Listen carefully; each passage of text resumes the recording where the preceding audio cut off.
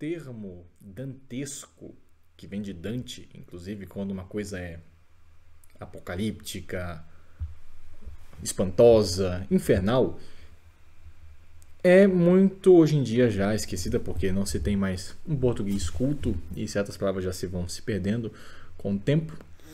Mas a figura de Dante nesse sentido, ele estudou, evidentemente sabemos com alguma coisa do Islã. Uh, grande parte da Divina Comédia é mais islâmica do que católica. Ah, mas padre, veja bem, Bento XV, bem, o Papa nem faria em, em, literatura. Por favor, meus senhores, não me venham com essa. Isso daí é o Esse mínimo. é um Papa que, que, que, era o Papa reinante durante a aparição de Fátima, não é? Sim. Ah, sim. E. Que não revelou o terceiro segredo, né? Bem, aparentemente era só para a década de 60, né? Mas acontece. Seguindo. Naquela época de Dante, quando ele apareceu, ele sentia influência do Islã. Isso já é provado pela. Tem um, tem um, um arabista é, chamado Miguel, que fazia parte da Universidade, se não me engano, de Barcelona, na Espanha, que escreveu um ótimo livro sobre a influência do Islã dentro da Divina Comédia. Hum. E que, inclusive, o professor Sapucaia fez um, várias postagens sobre isso. Oh. E seria coisa de uma revisão histórica também. Interessante. E porque não somente existe o hebraísmo, mas também existe todo um, um arabismo. Existe também ao mesmo tempo. Por exemplo, o Ocidente foi arabizado, por assim dizer, e hebraizado no sentido das letras, mas o latim nunca chegou a entrar totalmente no mundo árabe ou no mundo de Jerusalém. Tem aquele padre Gabriel Terry, né, que fala umas coisas interessantes. Ah, é verdade. Ele. Eu não cheguei a ler todo ele ainda, é um livro que eu vi por alto certa vez, mas é interessante ver que certamente existem estudos mais recentes sobre isso. Uhum. Esse tipo de situação, arabismo ou hebraísmo, é uma coisa mais dos últimos três séculos que vem sendo estudada. De qualquer maneira, nós temos toda a problemática de Dante dentro da modernidade. Alguns se recordam dele sobre a questão da Divina Comédia, que já é um livro com um milhão de problemas. O hum. professor Pucaia tem ótimo material sobre isso. É certo que Dante tinha uma linguagem secreta dentro da Divina Comédia. Ninguém é... nega isso. Ninguém nega isso. Olha, se o pessoal mais liberal de uma academia de letras sabe disso, se o pessoal mais radical da questão da polícia da gnose sabe disso, que é a Monfort, que era Monfort, que era Monfort, hoje em dia é qualquer coisa. Tecnicamente, os verdadeiros sucessores de Orlando Fedeli estão aqui agora nesse, nessa, nessa conversa. Porque, bem, se segue lá o que o Fedeli defendia. Paga o João Paulo. Pois é. E bem, graças a isso, não vemos, de modo algum, uma ortodoxia na Divina Comédia. Uhum. Ali você tem elementos de tudo um pouco, desde linguagem secreta, sociedade secreta, hermetismo, renascença, islamismo e tudo junto e misturado, fora o paganismo que se tem ali. E foi um livro que revolucionou o mundo inteiro. Mas há um aspecto que é muito interessante. Bento XV realmente louvou a Divina Comédia, mas existe um livro que Bento Dante... XV era o secretário Rampola, né? Ele foi secretário do Rampola, junto com a época que o que o padre Pacelli também era secretário do Rampola. É, o João 23 também, né? O Roncalli. Roncalli, Pacelli e. Chiesa, Bento XV. Sim. O Roncalli já era, já era diretamente de Rampola? Era, era do gabinete do Rampola. Olha só. Bem, todo mundo junto ali, né? É, o Ricosta deve saber mais sobre isso. Sim. Tanto que, voltando ao tema principal. Bento XV, Dante. Uhum, temos uma problemática que há um livro que não é tão louvável assim, que esse, atenção, hum. Uh, está no Index, que é o De Monarquia, hum. que é diretamente um livro sobre política de Dante. É um tratado político que ele escreveu. O De Monarquia de Dante está no Index de Livros Proibidos porque ele propõe diretamente uma coisa revolucionária: a supressão do poder papal por um poder temporal romano, de modo quase a restaurar o Império Romano a um modo pagão isso existe em Dante, ou uma reformulação da autoridade papal segundo um poder secular. A grande tese da monarquia é essa. Claro que é basicamente esse sonho não pagão, mas renascentista, de fazer uma nova romanidade, não com Cristo, hum. mas e nem com paganismo, hum. nem com paganismo antigo e nem com Cristo mas com uma reformulação hermética, que misture de tudo um pouco. Rapaz. Então, existe isso em Dante. Nesse livro. Isso fica subentendido, por exemplo, quando ele fala que o poder do Papa não é absoluto. Ele fala isso em política, inclusive, Nesse livro? do Demonarquia. Rapaz, eu conheço católico que recomendo, acredita, padre? Mas como se está no índex? Então, não é frei, mas é freire. Ah, entendi. É. É, tem muito frei que recomenda coisa errada, como a gente sabe. Então, mas aí tem uns frei. É. Não, o clero, como sempre, você sabe como é que é. Pior que não é clero. Ah, é? Professor de filosofia. Ih. Não é frei, é freire. Ah, sim. Entendeu? É porque a caridade sempre pensa bem, sabe? A caridade sempre pensa bem, que o leigo não vai fazer isso. vai Imagina. Bom, Imagina. Pois é. E acontece que dentro do Demonarquia, a grande tese do Dante é: o poder do Papa não é absoluto e dever-se-ia ter um poder estatal ou diretamente de um imperador romano que fosse superior ao poder do Papa. Isso é a grande tese do Demonarquia do Dante e livro está condenado. A pergunta que eu faço: como que alguém que escreveu um livro desse cunho, que está no Index inclusive, é um dos autores, entre aspas, mais recomendados dentro da também, entre aspas, tradição católica, como um autor que escreveu a Divina Comédia sobre o inferno, o o paraíso, o purgatório, e que inclusive foi recomendada por um Papa, Bento XV, sobre questão literária. Bem, como eu disse, os papas não são infalíveis em questão de literatura, são coisas humanas. Tem que E- perguntar pra Dom Williamson e pro Bento XV.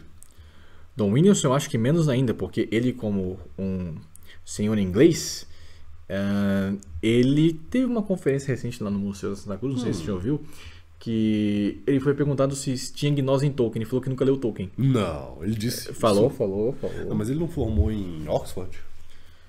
Bem, sabe que universidade muitas vezes não se estuda, não é? Não, mas o Tolkien é, é dessa universidade, não é? Era próximo. Do círculo inglês, não é? Era o ciclo. Todo mundo lê Tolkien na, na Inglaterra. É porque o Williamson formou em letras, né? Formou em letras. O Tolkien é o maior escritor inglês dos últimos 50 anos, né? Basicamente. Aí o Williams formou em letras, né? E não, não leu. Não leu Tolkien. Ele conhece em geral, mas falou: I, have, I have never, uh, I never, never had uh, read anything from Tolkien. I don't know anything about uh, Gnosticism. And, porque, claro, ele não disse isso na conferência direta. Foi uma pergunta que fizeram a ele. Ah! Porque, é, claro, Mas ele é inglês formado em letras na década de 60, 70 e nunca leu Tolkien. mas era amigo do Cambridge Five, né? Rapaz! Coisa. Não, mas acontece. Ele fez uma conferência sobre a, a franco-maçonaria na fraternidade, né? Verdade, falou. Apareceu no Bispo Balini, no canal dele. Isso, isso. O Williamson, numa entrevista também, há não muito tempo atrás, falou que vem de família maçônica. Uhum. Isso aí, o Dom Rodrigo pode falar que foi ordenado por um bispo de família maçônica. Pois é. Porque ele mesmo falou, eu venho de família maçônica, meu avô era maçom e tal. E, bem, como vocês podem ver, inclusive, ah, uma coisa que eu acabei de me lembrar antes que eu prossiga com Dante, ele também vai citar muito. Ele vai falar sobre Dostoiévski, que dos mais o menor, não é o autor mais problemático do mundo, apesar de não ser católico, mas ele vai falar uma coisa um pouco mais problemática que é Ele é Shakespeare. católico, ele é ortodoxo, ele é oriental. Ah, claro, oriental, Não, claro. mas você tem problema com isso? Bem, o Williamson gosta muito da Rússia, né? É, porque o Papa Pio XII liberou rezar o Pai Nosso com os orientais. Bom, isso é assunto para outra conferência, mas vamos lá. É, eu acredito que Pensei que a gente tava falando de hebraísmo cristão. Ah, sim. Mas, de qualquer forma, diretamente, o Williams também vai louvar a figura de Shakespeare. Ah, E. Eu não sei. Bem, no Brasil. Bem, no Brasil não se tem muito estudo. Hum, Mas existe toda uma controvérsia. Quem é do círculo de letras, quem estuda literatura, sabe que em Oxford existe uma guerra civil até hoje sobre a questão da autoria de Shakespeare. Alguns acadêmicos questionam se Shakespeare realmente existiu. É um debate longo, não É vou entrar mesmo? aqui. Sim, é porque existem severas razões para acreditar que ele não existiu. Porque como alguém que viveu uma vida simples, nenhum pequeno povoado da Inglaterra naquela época teria conhecimentos de geográficos de Veneza, diretamente de grego, latim, de coisas de uma corte real e não. não, não, mas o Olavo de Carvalho falou que ele existe, o José Moninácio, o Guilherme Freire. Bem, esse é um argumento mais forte para quem nega então, né? Mas essas pessoas não são muito fonte para literatura, etc. Por exemplo, Olavo de Carvalho em literatura, bem, é o mesmo que citar, não sei, Ah, Dante pra política. Dante para política. Igual, mesma coisa. E o que acontece? Voltando e retornando a Dante. Esse pensamento dantesco em política tem consequências graves. Isso faz parte dentro da modernidade, dentro da renascença, dentro do hebraísmo, dentro do arabismo, que vai iniciar ali, especialmente em Florença com Dante também. Dante é o grande pai da renascença. Ele é a grande figura da renascença. Ele é, ele é a cara da renascença, em última análise. Ele vai diretamente ter essa tese revolucionária. Que o poder do Papa deve ser reduzido por um poder temporal, a saber, em um soberano que seja acima dele. Conheço alguém que falou alguma coisa parecida assim recentemente. Quem? Hum, Não lembro muito bem, mas liga com umas pontas do passado. Ah, ah passado é passado. Passado é passado. E hum, não é como o César Papismo. Hum. O Papismo ainda dá uma certa autoridade ao patriarca como um poder mútuo. No caso, Dante realmente queria submeter o poder do Papa a um poder temporal romano claramente iniciado na sociedade que ele fazia parte, que era os Fedeli de Amore. Mas é interessante notar que o senhor fez aquele vídeo ano passado sobre a questão do egídio romano e o poder do Papa, quando saiu toda a polêmica na época da Unam Sancta, que algumas pessoas já estavam negando o poder papal. Existe um herege, Marcílio de Pádua, que vai ter um pensamento parecido com Dante, as ideias eles batem muita coisa, sobre uma redução do poder papal na questão temporal. Ou até onde vai o poder do Papa em relação aos reis. Bem, Egídio Romano deixa claro, não existe poder fora do Papa. Exato. E se o rei tem poder, é porque o Papa tem poder e concedeu a ele. Ponto. Passou disso, é no mínimo já beira ali algum problema doutrinal e, bem, tristemente ao longo dos séculos foi se esquecendo de Egídio Romano. Imagina dizer que obedecer ao anticristo não tem problema, porque é o poder estabelecido. Uau. Ahn, e, e o mais O engraçado. padre está sem palavras, pessoal. sem palavras, sem ar, E o mais, sem cor, tá branco aqui agora. e o mais engraçado é que no site vacandismo, né? Não é possível. Como é possível? Como é possível? Bem, é o mistério da iniquidade. É um mistério de É o verdade. mistério da iniquidade. Ótimo livro, inclusive, recomendo que compre, apesar que o bispo fala que não serve mais porque está condenado porque tem o segredo da Salete. Ah, essas conversas que nós estamos tendo aqui é uma introdução geral a certos temas, Uhum. mas isso deve ser, de alguma maneira, colocado à mesa. Política é uma coisa importante. O católico não é um Tem como separar a política da religião? Quando separa, nós vemos aí o laicismo e vem todas as consequências morais disso. Se Cristo não é rei da sociedade, bem, ele é rei de quem? O indivíduo privado na sua casa, rezando o texto com medo e perseguido? Não é assim. Nossa, Você vai dizer o quê? Que existe uma sadia laicidade? Complicado. de tudo um pouco nós vemos no mundo moderno. Inclusive frases assim que, bem, até hoje ninguém sabe interpretar corretamente o que quer dizer certas coisas. Então. É próprio da modernidade ter uma linguagem moderna. Uhum.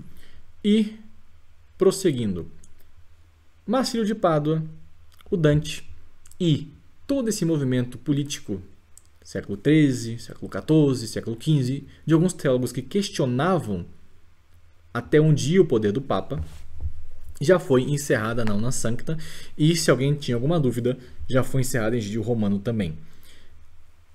Acontece que os danos causados por essas ideias de Dante, Marcílio de Pádua e outros é o substrato para gerar no futuro um Maquiavel.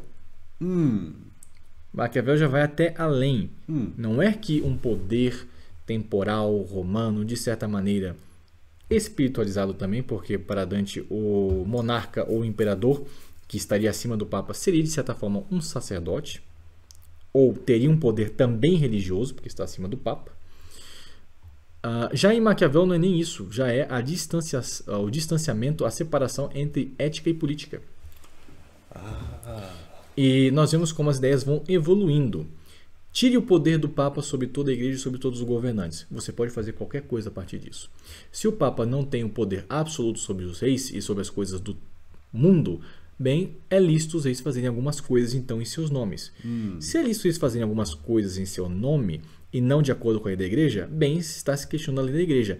Logo, se pode questionar logicamente a ética.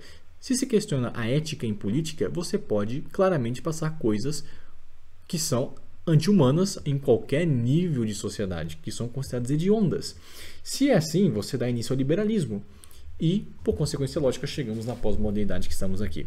Por onde passa um boi, passa uma boiada. E é interessante como a filosofia analisada sobre essa perspectiva ela faz um total sentido, como é coerente e, e é gradual, é orgânico o, o, pensamento, a evolução desse pensamento revolucionário.